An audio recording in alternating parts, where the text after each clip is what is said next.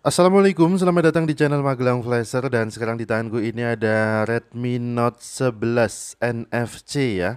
Jadi handphone ini kasusnya adalah terkunci akun Google-nya atau FRP Google-nya seperti ini. Kita akan coba untuk bypass akun Google-nya. Syaratnya handphone harus terhubung dulu ke jaringan internet, bisa menggunakan WiFi ataupun data seluler. Di sini untuk jaringan internetnya aku menggunakan WiFi saja. Kita hubungkan handphone ke jaringan internet via WiFi terlebih dahulu. Kemudian kita siapkan kartu SIM yang sudah tersetting PIN. Untuk cara setting PIN pada kartu SIM, teman-teman bisa lihat tutorialnya di YouTube sudah banyak. Jadi kartu SIM yang sudah tersetting PIN ini langsung kita pasang pada Redmi Note 11 yang terkunci akun Google-nya. Kita pasang SIM card-nya pada handphone ini, tapi untuk PIN SIM-nya tidak perlu kita ketikkan. Hanya sebagai syarat untuk mencari celah bypass akun Google pada Redmi Note 11 ini saja. Oke, kartu SIM sudah kita pasang dan kita tunggu sampai terbaca. Kemudian terbaca PIN SIM-nya seperti ini. Untuk PIN SIM-nya tidak perlu kita ketikkan, langsung bisa kita lepas lagi kartu SIM-nya maka akan muncul tampilan wallpaper seperti ini. Ketika kartu SIM sudah kita lepaskan muncul tampilan wallpaper, kita bisa geser dari bagian atas layar handphone ini sampai muncul notifikasi di layarnya. Jadi ada notifikasi jam dan tanggal, di sebelah kanan ada logo lonceng, kita bisa pilih logo lonceng ini sampai masuk ke halaman notifikasi dan pusat kontrol. Kemudian kita pilih notifikasi aplikasi. Kemudian kita tunggu sebentar, kita geser ke bawah, kita cari aplikasi YouTube dan kita pilih aplikasi YouTube ini. Kemudian kita geser lagi ke bagian bawah, kita cari setelan tambahan di APL. Kita pilih menu ini sampai muncul halaman setelan aplikasi YouTube. Kemudian kita pilih menu tentang, kemudian kita pilih menu persyaratan layanan YouTube. Maka secara otomatis akan muncul browser dari handphonenya. Kebetulan ini adalah browser bawaan, bisa juga kadangkala yang muncul adalah Chrome. Kemudian kita setup dulu sampai browsernya terbuka. Ini adalah Mi Browser, kita pilih batal aja untuk defaultnya. Kemudian pada kolom URL-nya di sini kita ketikkan kata kunci yaitu Magelang Flasher FRP. Ada tiga kata kunci yang kita ketikkan yaitu Magelang Flasher FRP.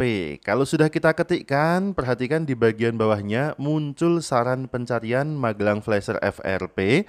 Langsung bisa kita pilih aja saran pencariannya Magelang Flasher FRP ini sampai muncul hasil pencarian di Google dan kita pilih hasil yang paling atas yaitu bypass FRP Android dari blog Magelang Flasher. Langsung kita klik aja sampai terbuka halaman bypass FRP Android dari blog Magelang Flasher. Kita bisa geser sedikit ke bawah. Di sini kita akan membuka menu setelan dari handphone ini. Caranya kita pilih open setting menu. Jika muncul iklan, kita bisa kembali atau kita close halaman iklannya. Kita kembali ke halaman bypass FRP Android pada blog Magelang Flasher. Lalu kita pilih lagi open setting menu masih muncul iklan ya kita ulangi lagi. Pilih open setting menu kita klik sekali lagi sampai masuk ke menu setelan di handphone ini. Kemudian kita geser ke bawah kita pilih ke bagian aplikasi Kemudian setelah masuk di bagian aplikasi, kita pilih lagi kelola aplikasi. Kemudian di sini ada menu pembaruan dengan warna hijau ada panahnya kita pilih menu ini dan selanjutnya di sebelah kanan atas ada kolom pencarian atau menu pencarian kita klik aja logo pencariannya dan pada kolom pencarian bisa kita ketikkan kata kunci activity launcher sampai muncul saran pencarian di bagian bawahnya bisa kita pilih saran pencarian activity launchernya kemudian muncul aplikasi yang kita akan download. Activity Launcher langsung kita download, kita pilih menu dapatkan. Muncul notifikasi seperti ini bisa kita pilih tidak saja. Selanjutnya kalau Activity Launcher sudah terdownload langsung kita jalankan dengan cara kita pilih menu buka dan muncul notifikasi sanggahan kita pilih OK kita tunggu sampai proses loading memuatnya selesai. Dengan Activity Launcher ini kita akan mencari fitur ruang kedua karena fitur ruang kedua sudah tidak tersedia di menu pengaturan. Kita bisa klik menu pencarian dan pada kolom pencariannya kita ketikkan kata kunci ruang kedua sampai muncul hasilnya komponen utama keamanan. Lalu bisa kita scroll ke bawah kita cari ruang kedua. Di sini ada dua menu ruang kedua ya, yang atas atau yang bawah. Kita pilih salah satu aja bebas. Kita bisa pilih yang atas ataupun yang bawah. Kita coba pilih ruang kedua yang atas saja. Kemudian di sini ruang kedua sudah berhasil muncul. Kita pilih menu hidupkan ruang kedua. Kita tunggu sebentar sampai loading membuat ruang kedua selesai. Selanjutnya ada halaman berganti. Kita tunggu sebentar sampai proses loading bergantinya selesai. Atau jika ternyata tampilannya menjadi blank seperti ini. Jadi ketika kita mencoba untuk mengaktifkan ruang kedua, mendadak handphone menjadi hang dengan tampilan layar hitam. Tidak ada menu apa pun di tampilan layarnya. Kita coba untuk scroll dari bagian atas ke bawah layarnya tetap tidak muncul notifikasi. Terpaksa kita restart handphone ini dengan cara kita tekan dan tahan tombol powernya sampai handphone restart. Jadi handphone mati kemudian menyala lagi dengan tampilan logo Mi. Kita tunggu sebentar sampai handphone kembali ke tampilan hubung ke jaringan. Sampai di sini kita akan menghubungkan ulang handphone ke jaringan internet via WiFi. Kemudian kita akan ulangi langkahnya dari awal, dari memasukkan kartu SIM yang tersetting PIN.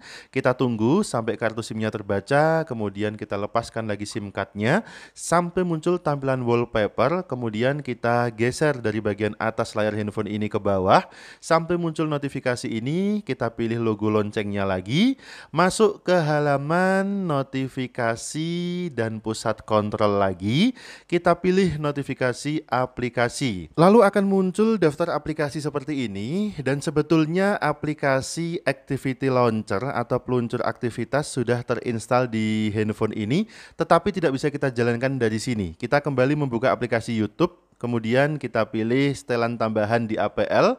Kemudian kita pilih lagi menu tentang. Selanjutnya kita pilih persyaratan layanan YouTube lagi sampai browsernya berjalan otomatis seperti ini. Kita akan kembali membuka halaman bypass FRP pada blog Magelang Flasher.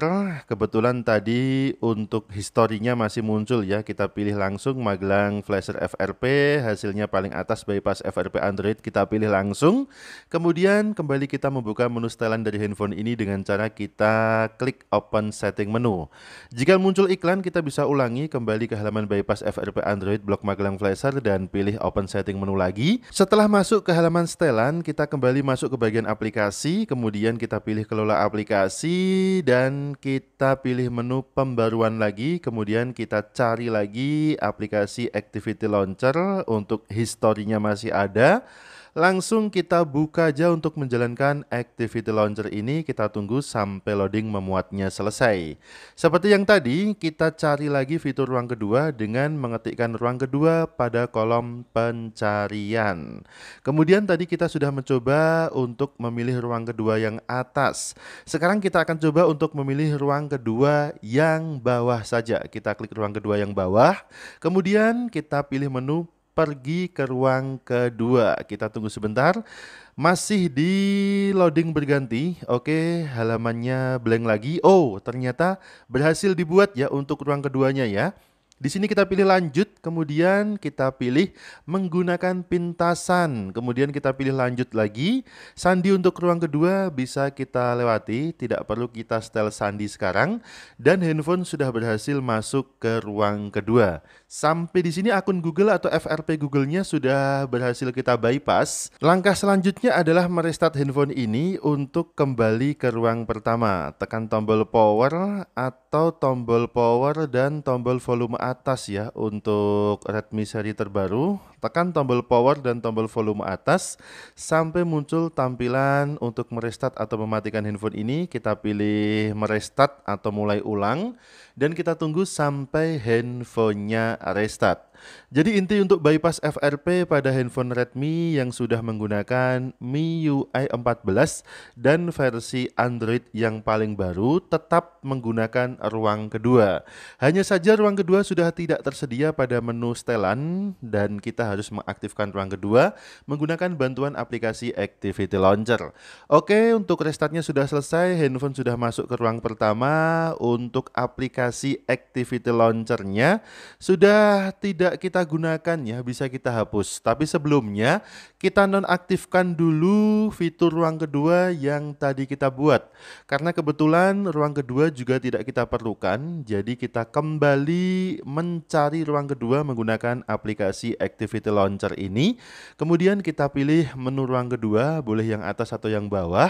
Selanjutnya di pojok kanan atas ada logo sampah, ini kita klik aja untuk menghapus fitur ruang keduanya. Sekarang fitur ruang keduanya sudah berhasil kita hapus dan aplikasi Activity Launcher juga kita uninstall karena sudah tidak kita gunakan. Dan ini adalah Redmi Note 11 sudah berhasil kita bypass akun Google-nya dengan metode yang mudah pada MIUI versi 14 versi yang paling baru pada saat video ini dibuat.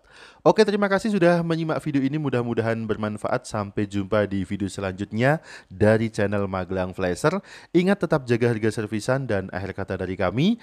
Wassalamualaikum. Tentu saja mantap jiwa jadi nota.